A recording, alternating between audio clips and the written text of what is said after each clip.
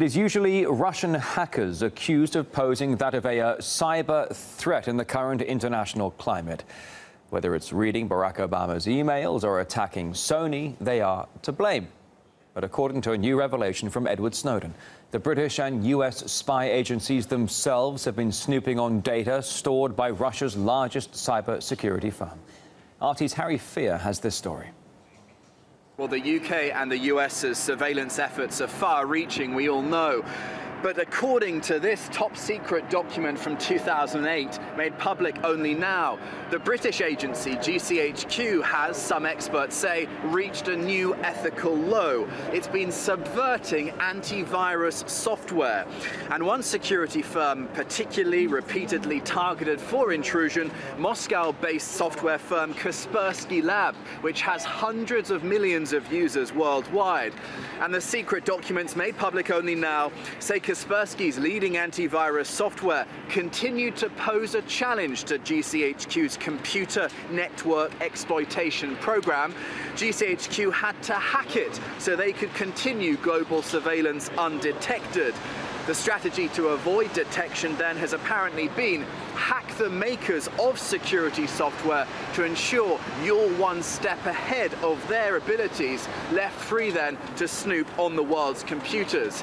But the US has also been up to the same game, apparently targeting two dozen antivirus software companies too, according to these latest leaks published by The Intercept.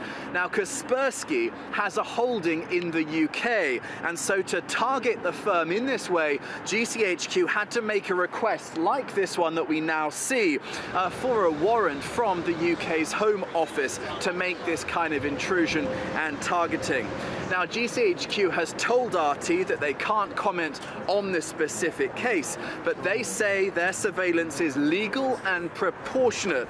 They added in their statement that its interception regime is entirely compatible with the European Convention on Human Rights.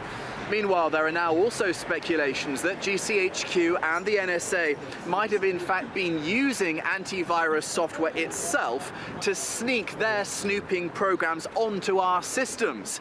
No irony spared then, as of course these software programs are set up to protect our security and privacy, not spoon feed our information to the snoopers. Well, the uh, released document suggests GCHQ named Kaspersky a key target. It goes as far as to say the company poses a challenge because of its ability to detect government spying activity. And there is a long list of state-sponsored malware unearthed by Kaspersky. Let's uh, show you some of the viruses here on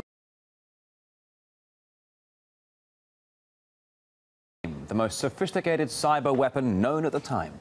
February 2015, it revealed the activity of an NSA-linked computer espionage group infecting networks in over 40 countries.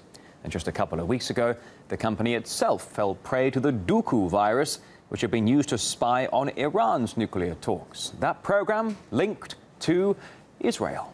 Well, we asked Eugene Kaspersky why he thinks Duqu 2 is state-sponsored. We, as a software company, we can estimate the uh, investment into the software project. That's a software project.